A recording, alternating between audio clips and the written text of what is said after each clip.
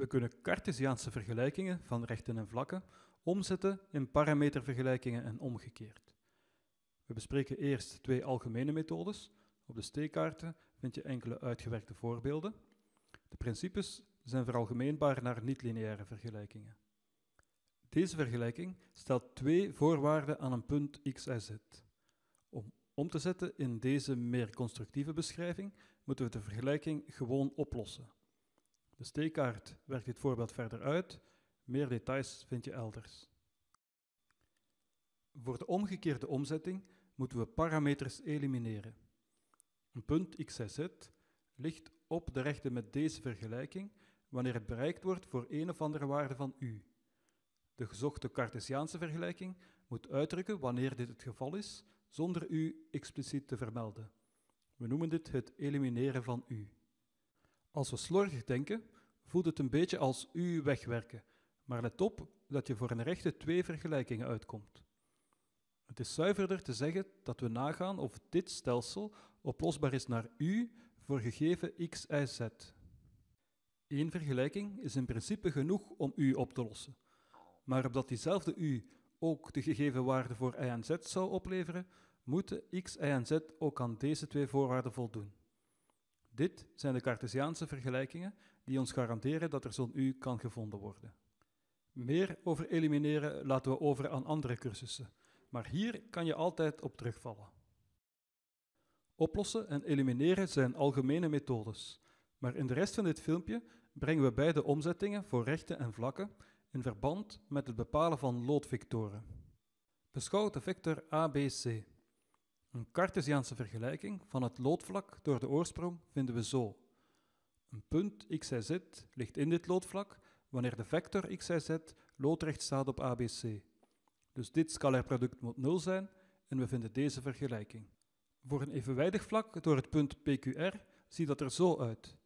ABC staat nu loodrecht op een stap vanuit PQR naar XYZ. Maar verschuiven is meestal niet het grootste probleem en we focussen verder op rechten en vlakken door de oorsprong.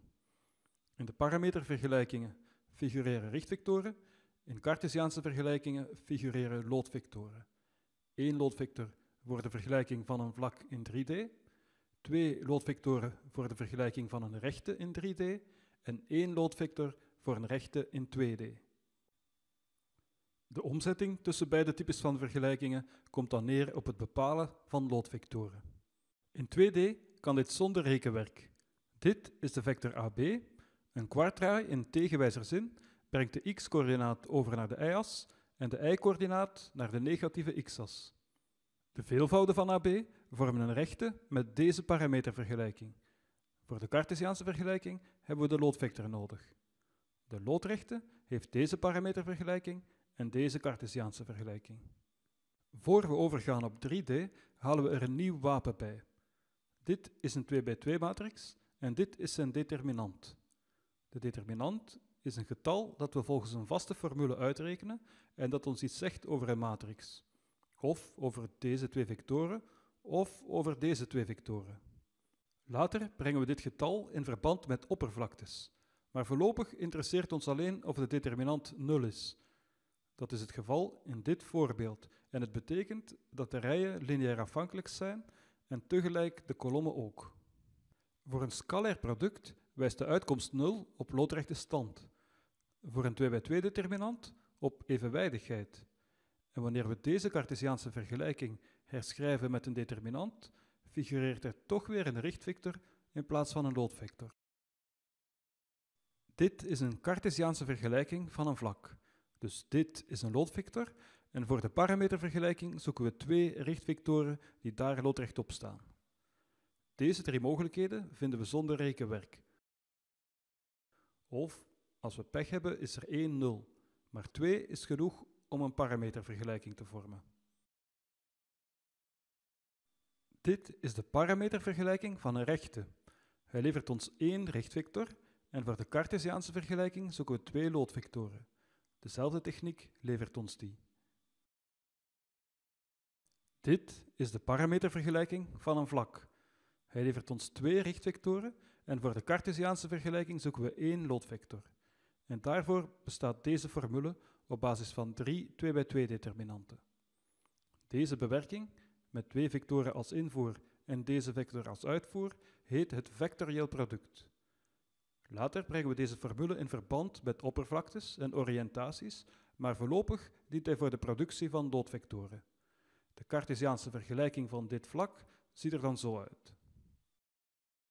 Dit is de Cartesiaanse vergelijking van een rechte. Hij levert ons twee loodrichtingen en voor de parametervergelijking zoeken we een richtvector die daar loodrecht op staat. Ook hier doet het vectorieel product zijn werk. Dit is een 3x3-matrix en dit is de formule voor zijn determinant. Maar vaak wordt hij zo geschreven. Dit is hoe het werkt.